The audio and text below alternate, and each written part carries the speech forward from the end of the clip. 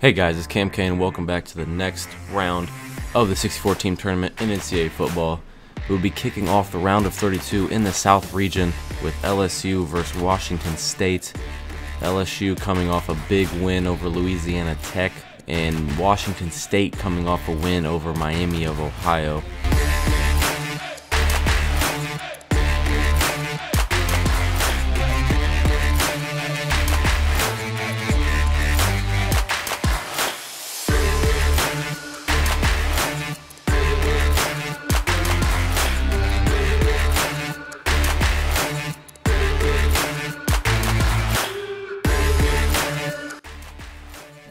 Pick it up here in the first with Joe Burrow leading this LSU offensive attack here late in the first. Still a 0-0 game. Joe Burrow is going to get it down inside the five-yard line. So they're going to have a first and goal here at the end of the first right here. So to start the second, they switch sides. And they do hand it off to the backup running back, John Emery Jr., and he is going to get in for a one-yard touchdown run. But Washington State, next drive, they have a deep pass down the field. It is complete, and he is going to break a tackle. And he, he could go all the way. Two scores quick into the second quarter. And LSU starting in their own end zone here in the fourth, and they have a deep pass out over the middle. That's going to get a first down as they are down eight here late in the fourth. Joe Burrow with two interceptions on the day, but finds that pass there.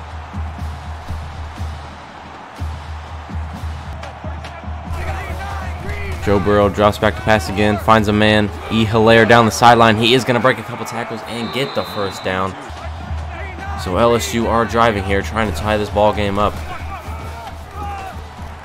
And another big run there from E. Helaire as Joe Burrow drops back to pass again, finds his fullback, and that is going to be a first down through Tory Carter.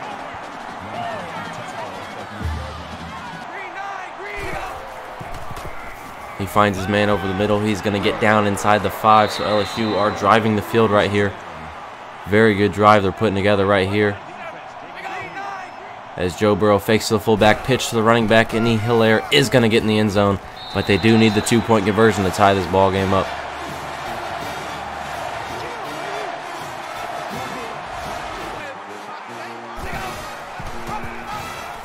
And he gets the pitch to E. Helaire on the option, and he does get into the end zone, so the two-point conversion is successful. And here comes Anthony Gordon back out to the field, already 420 yards on the day. Can he lead another drive down the field?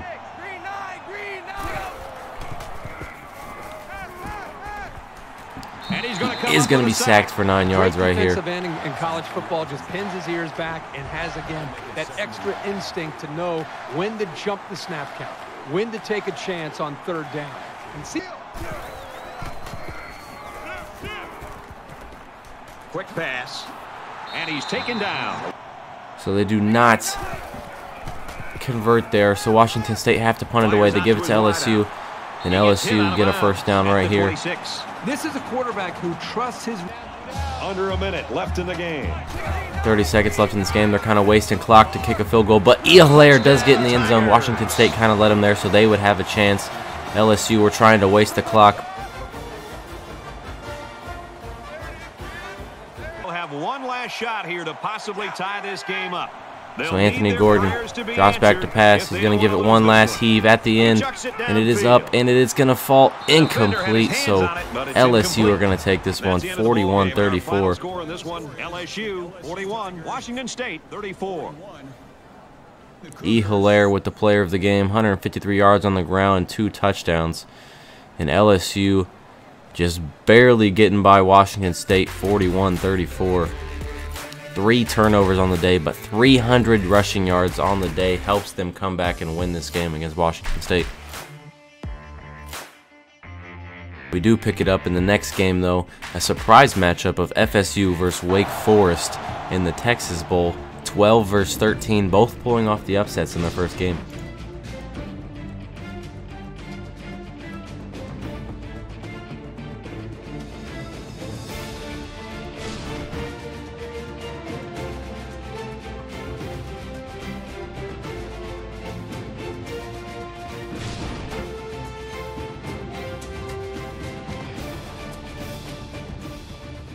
And welcome to neutral side action, and we're just about ready for kickoff.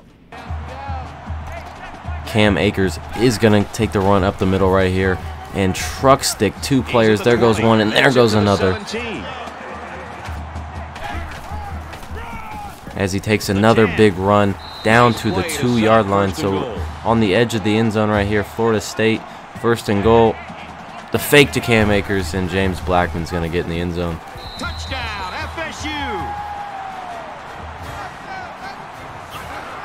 So Florida State are now up by two scores. Really good vision here by the quarterback and a good understanding of where he was on the field.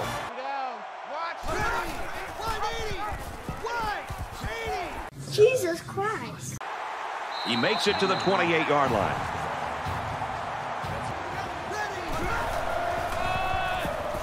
They give to the tailback. He makes it out maybe to the 26-yard. Finds his tight end down the sideline, And a quick throw. Touchdown, Demon Deacon. down the sideline for a deep touchdown. So now they're down seven.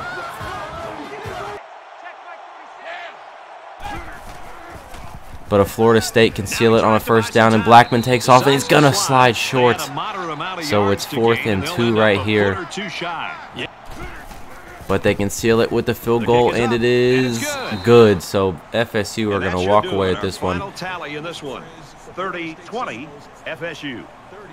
30 to 20. James Blackman, player of the game, 177 yards through the air, two total touchdowns. Florida State rushing attack just helping them nearly squeak out a victory against Wake Forest. So that'll set up an LSU FSU Birmingham Bowl in the Sweet 16. But that moves us on to Miami versus Auburn in the Camping World Bowl.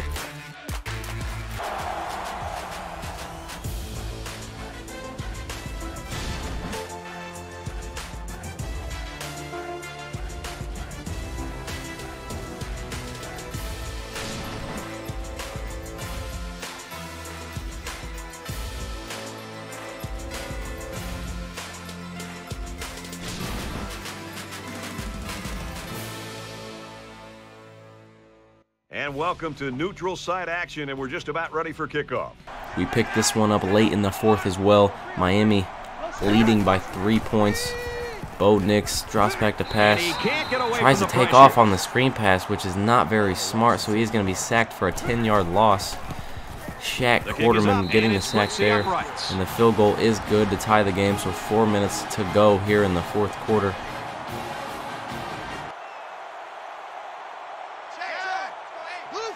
Miami driving the field. Handoff here up the middle, and they are going to get a first down inside the 20. Tackle made. at the Cameron Harris with the big run.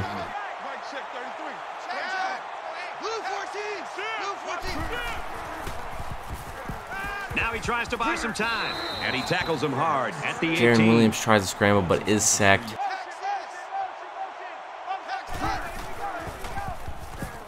He's going to try and scramble. But he does get a big scramble on this one for 10 yards, but dives does end up forward. getting Well, hurt. they didn't get the first down, but it was still a pretty good run by the quarterback. He made a good decision to take off there. They're about four yards away here on third down. Well, as they take a look at that injury on the sideline, let's see what this backup can do at quarterback. So the backup comes in. He takes off as well, and he's going to get into the end He's got room zone. to work. N'Kosi Touchdown, Perry with a nine-yard touchdown run right up the middle. Didn't leave a spy, and they get burnt there. So Bo Nix here on third and eight.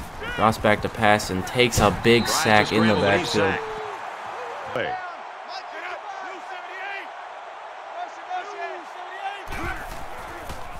But they use all three of their timeouts, get the ball back. Bo Nix finds a man down the sideline, so a minute 20 to go, and they just got inside the 50.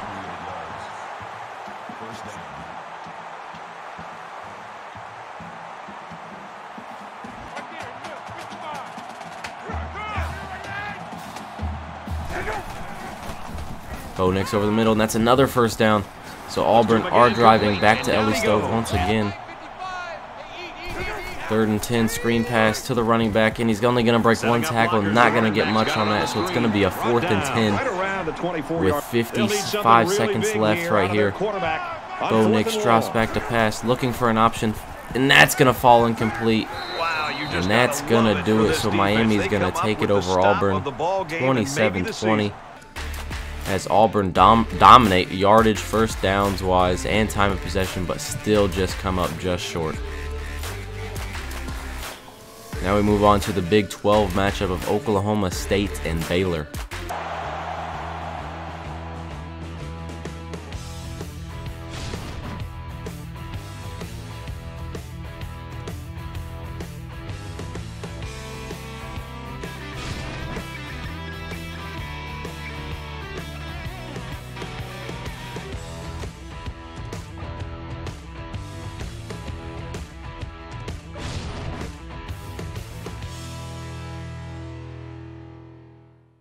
And welcome to neutral side action, and we're just about ready for kickoff.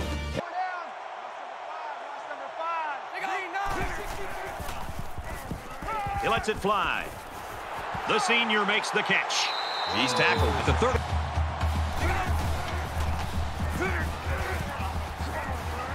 30. He's at the 20. So they go on the ground and pick up another first down. Makes it out to maybe the 13-yard line. Quarterback does go down hurt here, so the backup is going to try and finish this drive off for him. And he does find a man in the back of the end zone for a touchdown. So a great drive right there, and the freshman quarterback comes in and gets a touchdown. We'll have to wait and see if Brewer can come back into this game.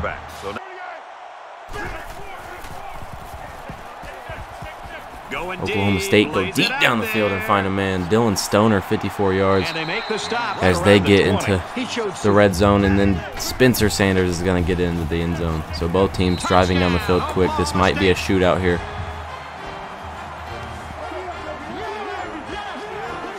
He made a great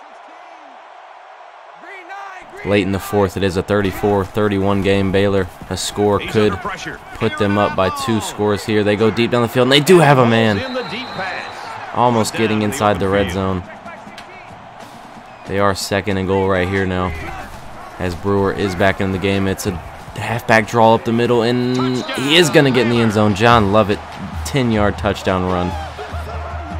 As Baylor go up by two scores. Oklahoma State driving the other way quick though. And Spencer Sanders is not going to get in the end zone. He's going to fall just a yard short. But the handoff to the running back, Chuba Hubbard. He gets stood up at the one as well, so it's fourth and goal right here. OK State needs to get into the end zone here as they hand it off. The backup running back comes in, LD Brown, and he gets into the end zone. So OK State just down three points as they go for the onside kick. And they get the onside kick off the knees of 81 right there. And OK State gets the ball back. So they do have a chance here. Two minutes left with all three timeouts. Third and nine right here, though. Spencer Sanders drops back to pass, and he's not going to get it off, so he is going to get sacked. It's going to be a fourth and 19 right here. They have not elected to use any of their timeouts just in case they don't get it. He has a pass down the sideline, and that's going to be tipped away. But Baylor run out the clock and take this one.